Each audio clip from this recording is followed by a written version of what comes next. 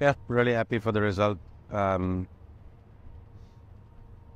I think it was a game of uh, two halves. First half, maybe we had a few more, uh, or a little bit more control and a few more uh, opportunities to create close to Åland's or in front of Åland's goal. And second half for us was a defensive uh, performance. We're quite confident defensively. We're quite solid, and we continued that yesterday. So um, yeah, happy, happy for the three points.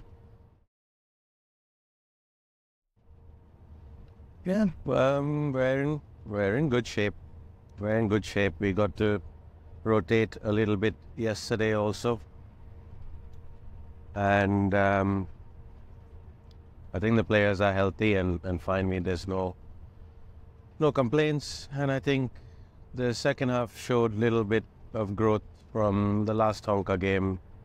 That maybe we didn't have the control, but we were quite calm defensively, and we restricted Åland to mostly shots from outside the box.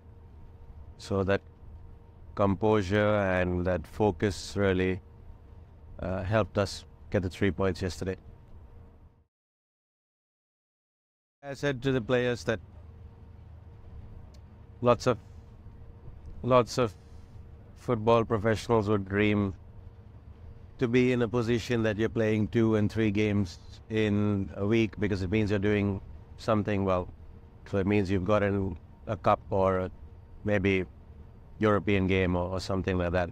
So where where we've uh, had to manufacture a little bit our own luck and sometimes rely on that, but I think we worked hard to earn that, um, uh, put ourselves in this position and yes, we're excited, but we're not really.